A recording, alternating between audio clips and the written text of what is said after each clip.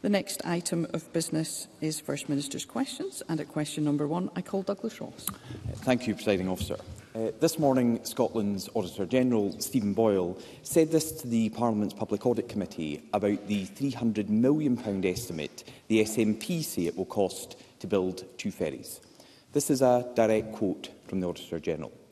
It would be folly to suggest that is a reliable figure that will be spent to deliver the vessels at this stage. So will the First Minister continue to defend his government's estimate for these ferries, or does he agree with the Auditor-General? That would be folly. First Minister.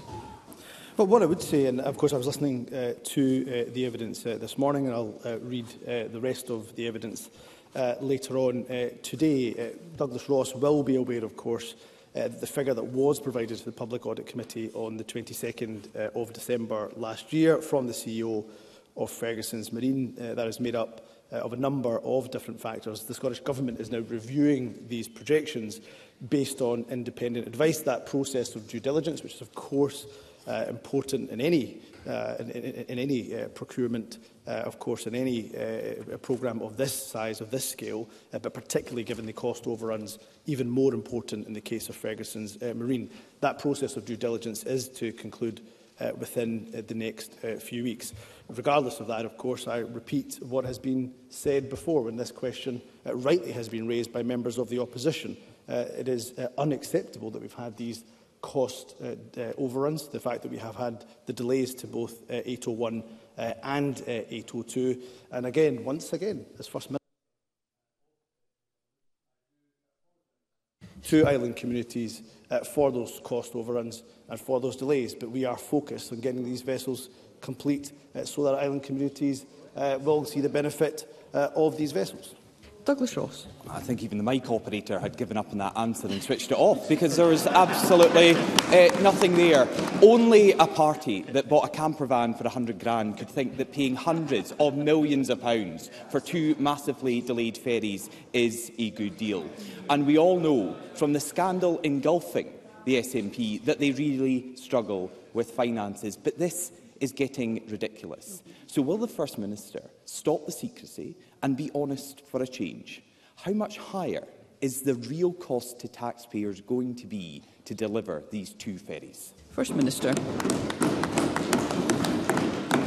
I'm not sure I've taken too many lessons on financial literacy from the party of Kwasi Karting and Liz Trust, uh, presiding uh, officer. But on the, on the important issue that Douglas Ross is absolutely right to raise uh, in this chamber. Uh, what I have said is that there is rightly a process of due diligence underway. That process will conclude in the next few weeks, and of course we will make it known what the result was, what the result was of that due diligence. Uh, what I will uh, never shy away from saying, uh, rightly, that of course the cost overruns and the delays uh, in relation to these two vessels is unacceptable. The island communities uh, that are frankly frustrated and angry at those Uh, cost delays, uh, those cost overruns and the delays, uh, I completely accept uh, their frustration uh, and their anger. And therefore, uh, we will continue to invest in Ferguson's uh, Marine. We'll continue to do what we can to get these vessels uh, ready in relation to the updated timescales. But that due diligence is important, and of course that, will due, uh, that is due to be complete in the next few weeks. Douglas Ross. I mean, the Auditor General knows the 300 million figure is folly, but it seems that the First Minister doesn't. He doesn't have a clue about the actual cost it's going to be uh, for taxpayers here in Scotland. The bill for these vessels so far is already three times more than the original contract. But it gets worse, what we heard this morning, and the First Minister said he was listening to the evidence. So he will have heard the Auditor General reveal this morning that the bonus system for highly paid executives at Ferguson Marine is still in place. The two ferries are not fit to sail, the costs keep spiralling out of control and islanders continue to be left without vital lifeline services. So, First Minister, what on earth could these bonuses possibly be for? First Minister. Well, again, again I, I, I won't disagree uh, with Douglas Ross or neither uh, with the Auditor General, who, of course, the Section 22 report uh, earlier uh, this year made it clear that these bonuses should not uh, have happened. They should not have been paid. I, I agree. If Douglas Ross uh, will listen to the answer, I will give him genuinely an answer uh, Members. to the question that he Members, is absolutely right we to will raise. hear the First Minister. Now, the Thank former you. Deputy First uh, Minister made it clear uh, his anger, we share that anger, I share that anger at the fact the bonuses have been paid. Uh, the bonuses that are being paid, of course, relate to a decision made by the Remuneration uh, Committee of Ferguson's Marines without consultation with the government in November 2022. And those bonuses, uh, I have asked if they can not be paid. Of course, the advice coming back is that they are a contractual obligation. Now, for future bonuses, for any future discussion uh, or consideration of bonuses, I have made it clear there should not be bonuses paid in relation to vessels 801 and 802. So that has been made clear. The chair will take forward, uh, all Ferguson's Marines will take forward uh, that work. It is my expectation, the government's expectation, and the chair of Ferguson's Marine uh, knows this absolutely well, that there should not be bonuses in 23-24, the current financial year that we're in, in relation to this year, in relation to vessels 801-802. Douglas Ross. On every front, the SNP is engulfed in scandal, secrecy and a shameful waste of money. They are groaning about a waste of money when the First Minister has just accepted how much this is going to cost taxpayers. This week, the SNP's ex-Treasurer, Colin Beattie, said it wasn't me, Gov, when he was asked about the notorious camper van before abruptly changing his mind. And Hamza Youssef has said he isn't sure if Scottish Government ministers are using burner phones. That's what the First Minister said. This is all starting to look like uh, an episode of Line of Duty. But it's also a massive distraction preventing the SNP from getting on and delivering these vital services to island communities. And the problem for the First Minister is he has been personally involved in this ferry scandal from the very beginning. He was there at the SNP conference in 2015 beaming beside the disgraced Derek Mackay when the contract was announced. In 2016, he was behind Nicola Sturgeon, hoping one day he would be the First Minister to launch a ship with painted-on windows. And he was the Transport Minister inspecting the yards for years. Presiding officer, we found a picture uh, of the First Minister when he was Transport Minister visiting one of the yards. He was there that day to mark the halfway point in the build of these ferries. The only problem for Hamza Youssef is that picture was taken at the halfway point, according to him, in December 2016, more than six years ago. First Minister, that wasn't the halfway point. It wasn't even the start of this sorry saga. So how is the First Minister, who got us into this mess, going to fix it?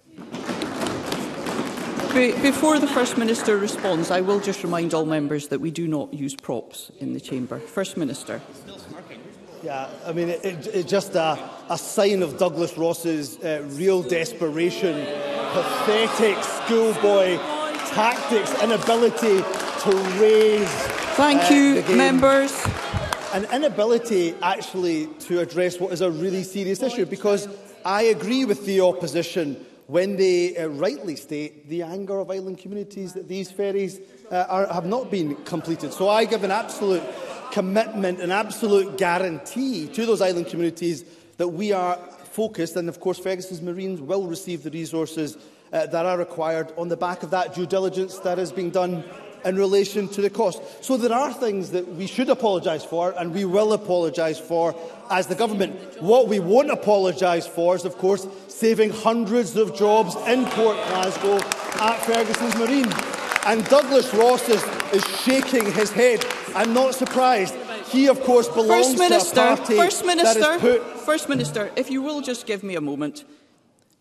People are gathered here to hear questions put to the First Minister, to hear the First Minister respond. Can we please ensure that that is possible? First Minister. And the reason, of course, why Douglas Ross was shaking his head when I was mentioning the fact that we have saved hundreds of jobs at Port Glasgow, at Ferguson's Marine, is because he belongs to a party, of course, that decimated communities yeah, yeah. up and down Scotland and left workers on the scrap heap, presiding officer.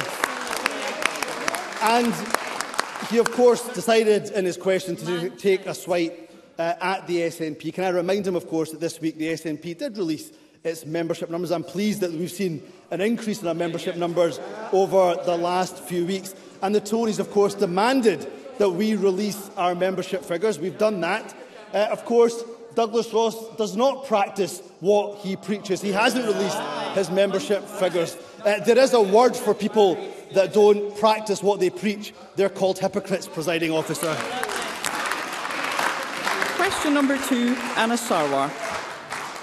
Presiding officer, I know the First Minister has spent the past few weeks thinking about financial mismanagement and the criminal justice system. Uh, so today I'd like to ask him about the overspend in the project to replace Berlini Prison. Because the issue of financial mismanagement is not just about how the SNP run their party, It's about how they govern our country. This government's failure in managing the public finances has cost the taxpayer more than £3.7 billion. Pounds. That's the result of failed interventions, waste and incompetence. Earlier this week, it was reported that the cost of building a new prison to replace Burliny has spiralled from £100 million pounds to £400 million. Pounds.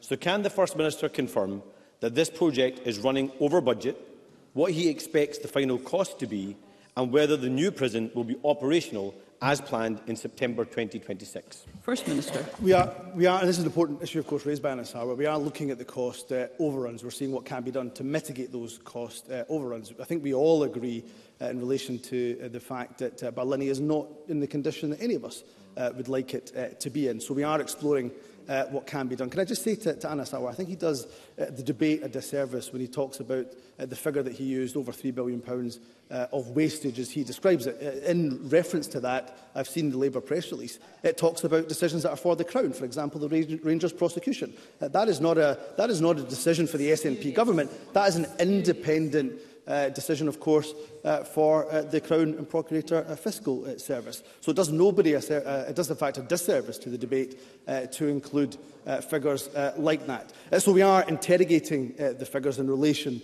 uh, to Barlini. Of course, construction costs have increased for a whole number of reasons, for, uh, of course, uh, partly to do with the UK Government's uh, complete mismanagement of the economy, but also to do with some global factors uh, as well. We know the, the, the war uh, against Ukraine, the illegal uh, invasion by Russia, uh, of course, has uh, also affected uh, construction costs as well. But to give him uh, a direct answer to his question, those uh, cost overruns uh, are being interrogated and we'll do everything we can to bring them down. Anna Sarwar. It's interesting the First Minister wants to dispute £60 million out of £3.7 billion of waste under this SNP government. And I'm sorry, blaming Ukraine or the wider economic crisis or inflation on this crisis is not going to work. Uh, the, this is a three, this is a 300% increase in costs at Members. a time when inflation is running at 10%. Even an SNP treasurer can tell you those figures don't add up because Scotland's prison estate is in a dire condition. At Greenock Prison, the Chief Inspector of Prisons is threatening to bring in the Health and Safety Executive because of the state of the building. In Inverness, the Prisons Inspectorate has said the prison is not fit for purpose. That prison was due to be replaced at an original cost of £52 million. That cost has now risen to almost £140 million. In fact, in all five major capital programmes in the criminal justice system, all are running over budget. So if the First Minister truly believes in transparency, will he commit to opening up the books and would he welcome an Audit Scotland review into these projects so we can understand why costs are running out of control? First Minister.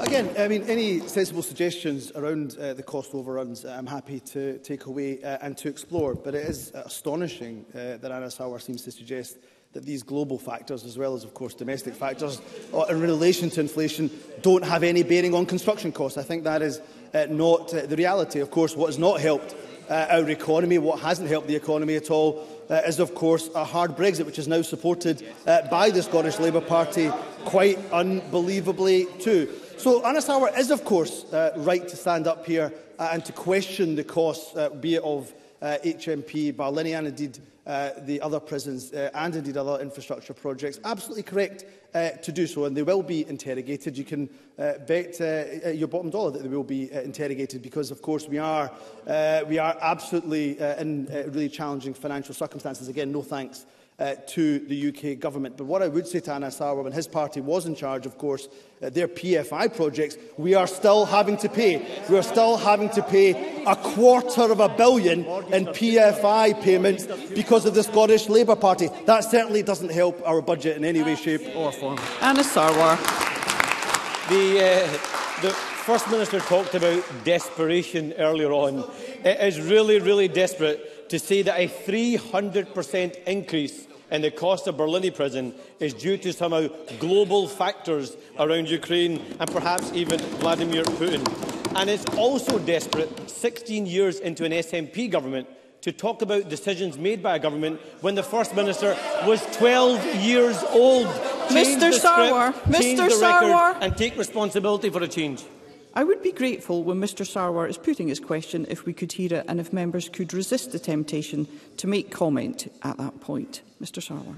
I can understand why they're frustrated, presiding officer, so maybe give them a bit of slack uh, this week and maybe in future weeks uh, as well. Because right across the public sector, project after project is running out of control. In health, the new Baird Family Hospital in Aberdeen, initial budget 163 million, now 244 million.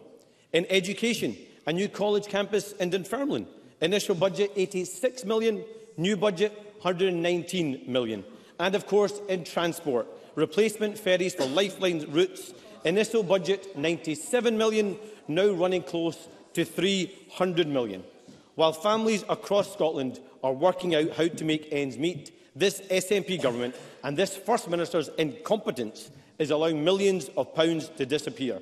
This is a government that's been in power for 16 years and has lost grip on taxpayers' money and weakened every institution in our country.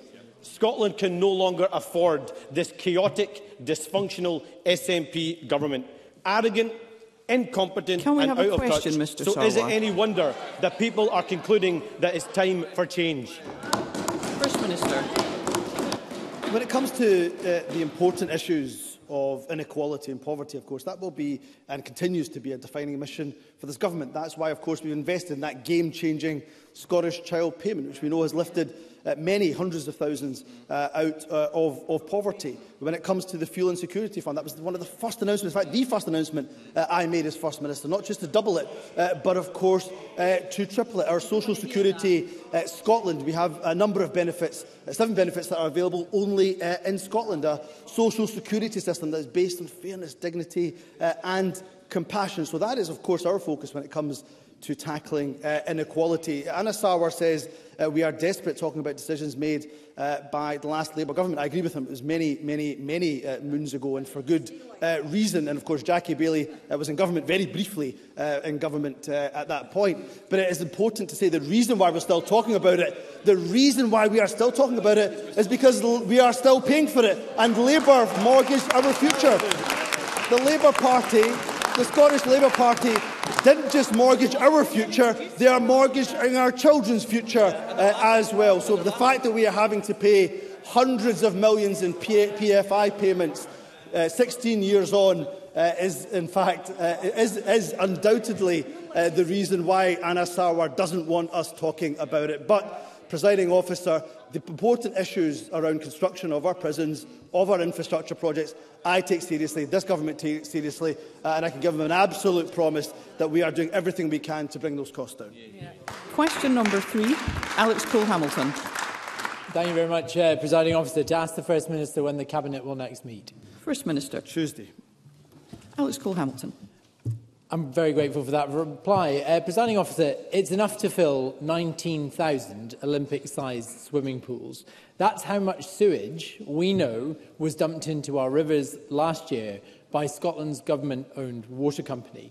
I say no because only one in 20 discharge pipes are actually monitored.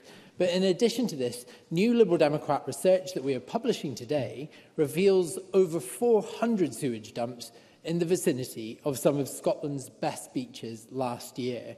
From Peterhead to St Andrews, these award-winning beaches should be protected and pristine. They draw tourists, families and wild swimmers. But like so many other things on the First Minister's desk right now, this absolutely stinks. So can I ask the First Minister, will he now instruct the monitoring of all sewage discharges in Scotland And what will he do to help Scottish Water get a handle on this? Otherwise, how many swimming pools of poo is he content to see put on our best-loved beaches? First Minister. Well, this is a serious uh, issue, and Asco Hamilton, of course, is right to, to, to, to raise it. Uh, what I would say, uh, of course, that our beaches, and he mentions a number of them uh, in his question uh, to me, uh, are uh, world-class tourist destinations. So I don't want to see uh, a single uh, sewage dump uh, where it is uh, absolutely uh, unnecessary. So I will take up the issue personally with Scottish Water. I know my Cabinet uh, uh, Secretary uh, is doing that uh, directly uh, with uh, Scottish uh, Water. So he is right to absolutely raise the issue. I will look at it uh, personally myself. I will raise it personally myself uh, with uh, Scottish Water and come back uh, to the member in due course. Question number four, Stephanie Callaghan. To ask the First Minister what the Scottish Government's response is to Alcohol Focus Scotland's emergency call to urgently take action prevent further deaths and reduce harm from alcohol? First Minister. Well, first and foremost, my deepest sympathy, and I suspect uh, the deepest sympathy of all of the Chamber, goes to those that have been affected uh, by the loss of a loved one through alcohol. We remain absolutely determined to reduce alcohol-related harm. uh, that's why we've introduced initi initiatives such as our world-leading minimum, minimum unit pricing. It, uh, recent research, of course, estimates has saved hundreds of lives. Uh, uh, as outlined last week, I'm absolutely committed to reviewing the current level of minimum unit pricing alongside other ongoing work, such as the upcoming UK alcohol treatment guidelines, uh, development of alcohol treatment targets for April 2024, and the expansion of our residential rehab capacity by 50% by the end of this Parliament. Uh, last year, 106.8 million was made available to alcohol and drugs partnerships to support local and national initiatives. We'll carefully consider the points that have been raised by Alcohol Focus Scotland uh, and the Minister for Drugs and Alcohol is due to meet with them and other stakeholders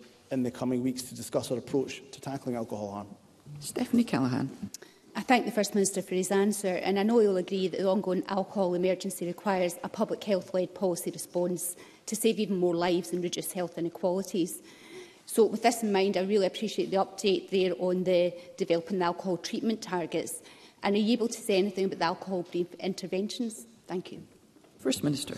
That's a really uh, important point uh, raised by uh, Stephanie Callaghan in relation to alcohol uh, brief uh, interventions. We remain absolutely committed to uh, our ABI delivery uh, programme. It's been in place for 10 years. We've seen excellent progress uh, and sustained delivery of the national ABI programme across Scotland uh, today. And can I congratulate local partners uh, on the fantastic achievement of that. The alcohol framework uh, does make a commitment to reviewing the evidence on current delivery of ABIs to ensure they're being carried out in the most uh, effective uh, manner. So we're working with Public Health Scotland to review the evidence in the current delivery of alcohol brief interventions to determine how the system uh, could be better could better meet uh, the needs uh, of uh, individuals and I will uh, update the member in due course once that review uh, has been complete. Carol Mockin. Thank you, Presiding Officer. We know from National Records of Scotland and Alcohol Focus Scotland that alcohol-specific death rates in Scotland's most deprived areas are over five times higher than in the least deprived areas. Similarly, with hospital stays linked to alcohol, we see rates six times as high in our most deprived, uh, eh, deprived communities compared to our most affluent This is a, there is a clear need for improved access to alcohol-related support services in our most deprived areas who are being badly let down by this government. The alcohol-related and wider health inequalities that exist in our country are both deep and divisive. His predecessor did little to address them. How can the country have any confidence that he will do any better? First Minister. I don't agree with that final uh, point, of course. It was my predecessor when she was Health Secretary that introduced minimum unit pricing uh, for alcohol, and of course it was successive health secretaries at the time, of course, that made sure we pushed ahead in the face of considerable opposition, uh, our minimum unit pricing for alcohol. And my understanding, of course, there was considerable opposition from Scottish Labour uh, to minimum unit pricing uh, of alcohol. And when she talks about saving, uh, like, sorry, when uh, Carol Mockin talks about saving lives, it's worth saying that research about minimum unit pricing alcohol has shown us that more than 150 lives a year uh, have been saved and have resulted, uh, yeah. the MUP has also resulted in 411 fewer hospital admissions. Uh, we're also encouraging to see that that research, and I'm happy to share uh, a copy with Carol Mockin because it's directly related to her question, that the policy is having an effect in Scotland's most deprived areas, which experience yeah. higher death rates and levels of, of, of harm uh, from problem alcohol usage. So I'm happy uh, to give uh, Carol Mokin further detail of what more can be done, uh, but I'm, uh, I'm, I, I'm confident in saying uh, that this government is taking action on alcohol-related harm, particularly in areas of highest deprivation. Willie Rennie. Uh, a new study from the University of Glasgow found a correlation between the minimum unit pricing and the 13.4% reduction in deaths. But the 50 pence rate was set over a decade ago, and inflation has been raging since. So we do need a change to catch up. So will the First Minister bring forward that review of minimum unit pricing, uprate it from 50 pence, and bring forward legislation to tie it to inflation to save lives in the future? First Minister. Uh, can I, can I uh, pay credit to, to Willie Rennie? I know he has raised this issue many, many times. When I was Health Secretary, he raised the issue with me uh, a, a few times uh, as well, and he makes a really important point uh, about uh, the research. Uh, Willie Rennie will, of course, know, because uh, he was in Parliament uh, at the time, that there was robust legal challenge in relation to minimum unit uh, pricing. So we are uh, ensuring, of course, that when it comes to review of minimum unit pricing, that we have as robust evidence in place if there ever was to be another legal challenge to a potential increase uh, in the minimum unit uh, pricing. So, so important that that we do have that robust evidence base to, to, to determine and support any decision uh, on a change in the level of MUP. The conclusion of the review of the level of MUP uh, will be concluded in late 2023. Really, uh, Willie Rennie has asked me to look to see if that can be brought forward. I, of course, will do that. I'll have that discussion. But I just go back to my first point, of course. It's so important that we have a robust evidence in place for any uh, decision that is made in relation to minimum unit pricing.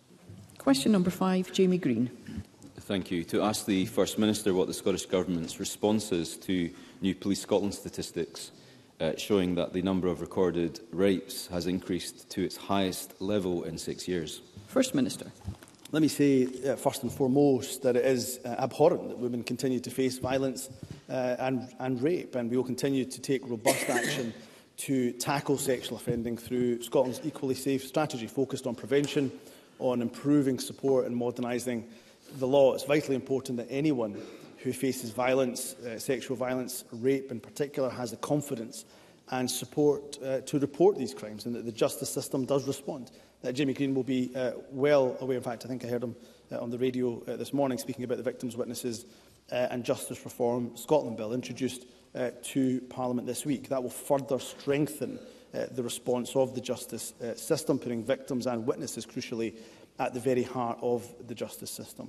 It also proposes to implement the significant reforms that were recommended by Lady Dorian in her report to improve the management of sexual offences, including a specialist court for sexual offending. Jamie Green. Uh, can I thank the First Minister and uh, echo many of the comments he's made. And we should also, as Parliament, commend the bravery of those who do come forward to report this horrific crime, but I think it's a dangerous assumption to make that a rise in recorded cases is simply a byproduct of more people coming forward and not an underlying rise in the levels of crime of this nature itself. And that's sort of qualitative work I would expect the government to already be doing in this regard. The real problem, presiding officer, is that the entire system from end to end is letting victims of crime down, from the initial reporting experience to the lengthy delays in getting trials to come to pass, up to four years in some cases. It's horrendous. The court experience itself is re-traumatising. And even if, and it is an if, a conviction is secured, and we all know that conversion rates are notoriously low in Scotland, the victim of that crime faces the injustice of watching the perpetrator dished out a lenient sentence relative to the gravity of the crime that was committed against that victim. So what I would say to the First Minister, as a former Justice Secretary himself, is if he will make a personal commitment today to those victims of this horrific crime, that he will undertake a root and branch review of how this country handles and processes uh, cases of rape. Will he undertake a review into why these figures are at such high levels in Scotland? And we, will he commit to work, working with victims' organisations and victims themselves to finally put them at the heart of this justice system? Far too many women have been let down by the system, and that's got to change, presiding officer. First Minister can I thank uh, Jamie Green for what was a, a really uh, important question. And some, uh, many of the points I, I agree with, some uh, perhaps uh, I, will, I, will, I will try to address and, and come back uh, to him uh, in writing in further detail. Uh, what I would say is he's right. We don't make an assumption uh, that uh, the, the rise in cases is simply down to uh, greater reporting and greater awareness, though uh, it's fair to say uh, in terms of non-recent cases, historical cases, we have seen a rise uh, uh, in, in the reporting. And that's not just the case in Scotland. We know that's the case right across the UK and I, I suspect in many jurisdictions uh, right uh, across the world. Um, there has been a focus on trying to raise awareness uh, of reporting cases of rape and sexual offences in particular. There's also been a greater consistency in approach in the use of specialist police officers uh, in this regard uh, as well. In terms of a few of the points that Jamie Green uh, raises, and I think he is absolutely right to raise them, Um, that is the entire purpose, of course, of the Victims, Witnesses uh, and, and, and, Justice Reform uh, Bill that has been introduced. It is putting victims and witnesses at the heart uh, of our justice system. I, uh, um, I, see, have the great pleasure uh, of meeting a number of families uh, and activists, campaigners, victims, witnesses, survivors yesterday at a meeting to discuss the bill. I say great pleasure because um, out of the most horrific circumstances and enormous tragedy, uh, they have been at the heart of campaigning uh, through their bravery, through their courage for better reform to the justice system. And the bill that we have introduced, uh, I think it's fair to say, by any objective measure, is bold, it's ambitious, probably the biggest change uh, that we will see in our justice system if the bill is passed in decades, some might even say uh, longer uh, than that. Um, uh, what I would say to, to, to Jamie Green is he's asked for a, a kind of root and branch review, I think, of uh, sexual offences and, and, and rape cases. Of course, that uh, review was done by Lady Dorian, and of course, many of the recommendations or many of the uh, uh, clauses within the bill are a direct result uh, of that work done by Lady uh, Dorian. So we'll continue to invest uh, in the justice system to continue to bring those court backlogs down, and they are uh, of course, uh, falling. Uh, what I would say to Jamie Green is that uh, Angela Constance, Cabinet Secretary uh, for Justice and Home Affairs, who's leading uh, this bill, uh, she will be engaging with every single opposition member, as you'd expect her to. Uh, and of course, we will take this bill forward in as open-minded and a constructive way so we can take, hopefully, all of this Parliament uh, through these justice reforms together. Pauline McNeill. These alarming statistics on rape are a further indication of ingrained levels of violence against women and misogyny. Across our society, Scottish Labour has been running a consultation with the full involvement of government officials to tackle violence against women. But sadly, it has confirmed existing research that young girls have been subjected to a rape culture in schools and across university campuses, and many receiving unwanted sexual images becoming too normalised behaviour. I hope the First Minister will agree with me that we need to tackle the root cause of the problem in our society by talking directly to boys and young men in all of our schools and our campuses to talk about their attitude to women and girls. First Minister. I mean, I, I couldn't agree more uh, with Pauline uh, McNeill's uh, question and the statements uh, that uh, she makes. When I was Justice Secretary, uh, again, uh, I would say I had the pleasure of seeing a programme being delivered in a school uh, not too far away from this Parliament, which was directly talking to young boys particularly around the issue of consent. Uh, and it was a really engaging uh, session uh, that was had uh, there. And Paul McNeill was absolutely right. We have to tackle the root cause. And the root cause, of, unfortunately, is predatory men. And uh, we have to intervene as early as we possibly can. Uh, and I support uh, everything uh, that Pauline uh, McNeill uh, said in her question.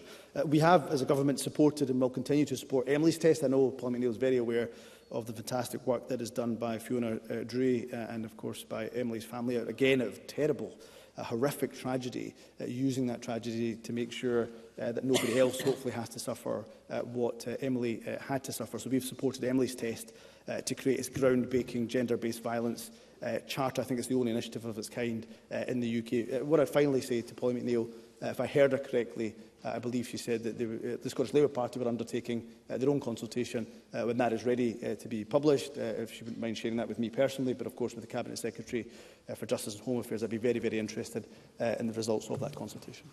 Question number six, Jackie Bailey. To ask the First Minister what the Scottish Government is doing to ensure that published NHS waiting times for treatment are accurate.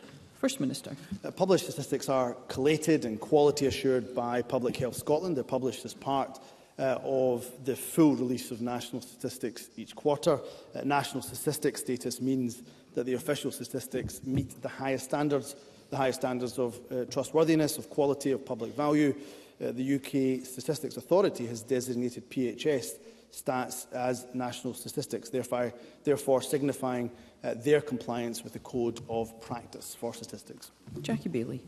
There are, of course, one in seven Scots on waiting lists currently, and senior clinicians have warned that the waiting time statistics published on NHS Inform are both inaccurate and misleading.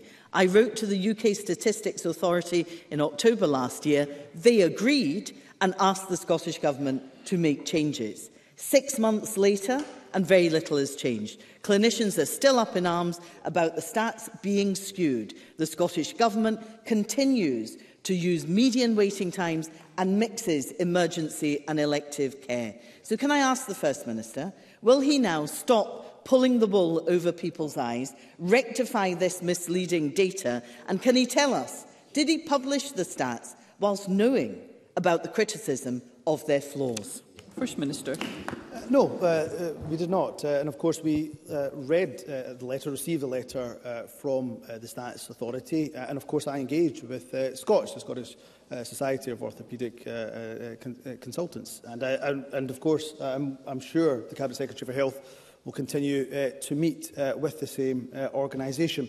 Uh, it is incorrect for Jackie Bailey to suggest that changes weren't made. So she's right, of course, we received that letter uh, in October uh, 2022. We then worked with Public Health Scotland and NHS 24 to review and address those key points that were made. Uh, following the recommendations from the Office of Statistic Regulations, uh, we made a number of changes. That included, for example, highlighting both the strength and indeed the limitations that the data uh, showed, showed on the website. There is also now additional links for the full release of national statistics uh, on the PHS website. That provides further information uh, uh, further information in relation to the distribution uh, of waiting times uh, for patients who have completed their waits, but also those who ha are still uh, waiting. And in terms of um, the criticism from the Scottish Committee uh, for Orthopaedics uh, and Trauma, Scott, uh, the Cabinet Secretary for Health uh, and Social Care will, of course, uh, continue to meet with them. But can I commend them uh, and their members and all of those working in NHS Scotland for the fact that despite significant ongoing pressure, Of course, we have seen that the number of outpatients waiting longer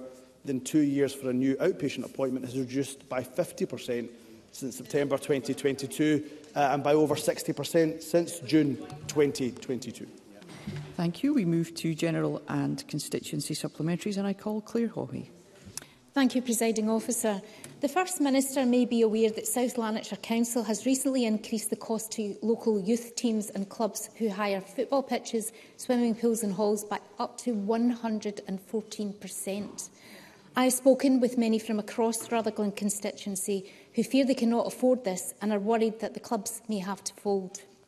Does the First Minister agree with me that the Labour administration at South Lanarkshire Council should be focusing on increasing uptake of sports and physical activity, that temporarily suspending the increase isn't good enough and that instead they should be scrapping these damaging price increases without further delay? Can I, um, before the First Minister responds, can I just remind members of the requirement to that questions should relate to matters for which the Scottish Government has general responsibility. And if you can answer in that light, First Minister. Well, while it is uh, clearly for local administrations to determine their own priorities, uh, but like Claire Hawking, frankly, I'm appalled at the actions of Labour-led authority in South Lanarkshire. I saw a protest uh, taking place by young people, uh, suggesting that it was time for Joe, uh, Joe Fagan, the leader of uh, South Lanarkshire Council, to go. I have to say I think those young people have, frankly, very good judgment indeed. So while families are facing ongoing eye-watering hikes in food and energy bills, having to cut back another other expenditure, this is not the right time to ramp up these charges and potentially deny children and young people in constituencies like Rutherglen, the chance to take part in sport. So I can only hope uh, that uh, the Council sees sense and turn this temporary reprieve into a permanent one. Murdo Fraser.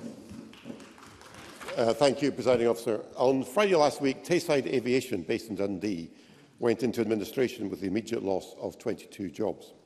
Tayside Aviation partnered with a number of universities, providing degree courses in pilot training. Students on these courses, some of them my constituents, now face an uncertain future, not able to complete their degrees, and having lost thousands of pounds in fees paid upfront to Tayside Aviation, which may not be recoverable. Some students have student loans now to repay, but nothing to show for the money. So how can the Scottish Government help my constituents caught in this desperate situation? First Minister this is a very important issue, and Murdo Fraser, Murdo Fraser, of course, is right to, to raise it here. I'm very uh, saddened to hear uh, of the job losses at Tayside Aviation. My thoughts, of course, are with the wor workers that have been affected, uh, their families, and rightly so, with the students uh, as well. And I appreciate that this position uh, has, put, uh, has put students uh, in great difficulty. I understand their concerns about money that they've paid uh, for lessons, and anybody impacted uh, should, of course, uh, contact the joint administrators. Uh, further information, including links to the Joint Administrator's Insolvency Portal are on the Tayside Aviation website. Uh, we're actively taking steps to understand how this will impact students funded by the Scottish Government. Uh, university students uh, should have been contacted directly by uh, their university, and we're also engaging with Middlesex University, who are delivery partners uh, for uh, that uh, course. Uh, I should have said in terms of the workers uh, as well, uh, our PACE team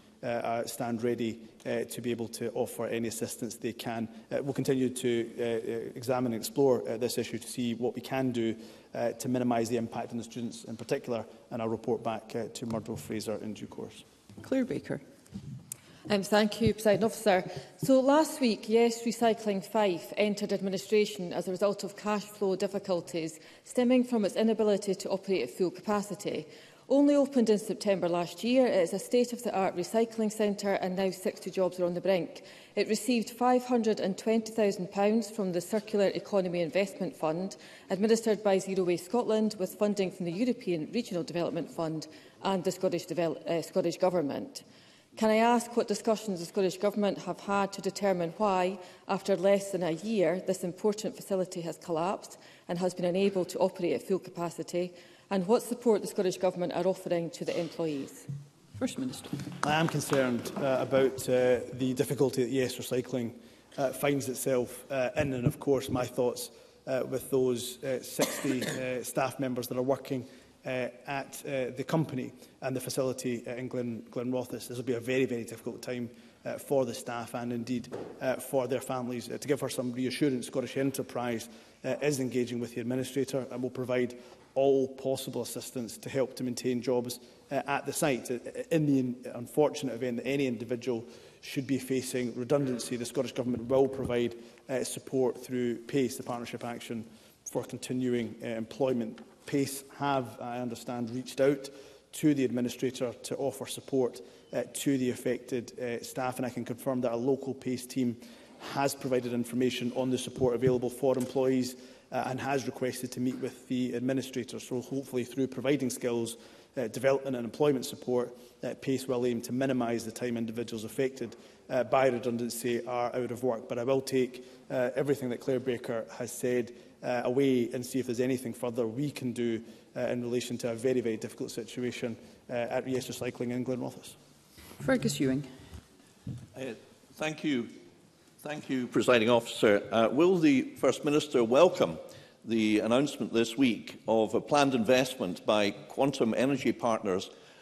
uh, to a value of £300 million in my constituency, uh, an investment which will focus on a site in Ardersier uh, that will develop a, a work in offshore wind and also oil decommissioning, and which will bring massive benefits, possibly for the remainder of the century in terms of uh, employment in the renewable energy field. Does he agree that uh, this development strengthens yet further the case for the duelling of the A96? Uh, a case which is supported, uh, presiding officer, by over 90%, 90% of the readers of the excellent press and journal, The Authentic Voice of the North. and will he, uh, and will he expedite, at long last, the delivery of the dueling of the section from Inverness to Aldern, including the Nairn bypass? First Minister. Uh, yes, I, I do welcome uh, that news, of course, of that uh, uh, very important investment. Uh, indeed, decommissioning is integral to the pursuit of an orderly, managed transition uh, to net zero and has the potential to create significant benefits and opportunities for people right across Scotland. Since 2017, uh, through our own decommission, decommissioning challenge fund, the Scottish Government has invested £12 million pounds to support innovation and build capacity in the decommissioning uh, sector. Turning uh, to roads, uh, we remain absolutely committed to improving the A96 and the current plan is of course to fully, fully dual uh, the routes but we are currently undertaking a review as the member knows of this corridor with the outcomes expected this summer for consultation. In addition we remain absolutely committed to drilling the Inverness to Nairn uh, section, including the Nairn bypass, and we'll complete the statutory process for that as soon as possible. And Tess White. Thank you, Presiding Officer. First Minister, last night, for the second time, the screening of the documentary Adult Human Female at Edinburgh University had to be cancelled as protesters blockaded entrances to the venue. Women were shut out and discussion about women's rights was shut down. Do you agree that freedom of speech should be defended in our academic institutions? And will you join me in urging Edinburgh University to ensure the event can take place? First Minister. I do agree with uh, Tess White about the importance of freedom uh, of speech and uh, more so in our uh, educational institutions like our universities that there should be a, a, a uh, space uh, that a safe space for debate uh, discussion, robust as that uh, may well uh, be. Eh, be. Uh, of course, I haven't seen uh, the film in question, the, the adult uh, human uh, female uh, film. I don't know the contents uh, of it. My understanding uh, is that there was a protest uh, against the film taking place, and then there was a separate uh, protest which ended up uh, denying uh, those who wanted to see the film uh, access uh, to the screening. Now, it is, of course, a matter for Edinburgh University. I won't uh, look to intervene uh, in that sense, but uh, I think I have made it uh, perfectly clear uh, in relation to my stance on freedom of speech, particularly within universities. Now, I, I see that as no conflict uh, with the other stance that I'm very proud of, which is supporting uh, trans uh, rights. That is something I am unequivocal uh, about, but we should ensure that our universities uh, are a place, our universities and society more generally, are a place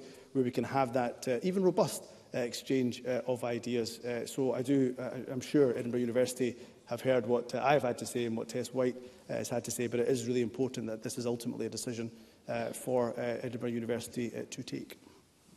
Thank you. That concludes First Minister's questions. The next item of business is a members' business debate in the name of Ariane Burgess.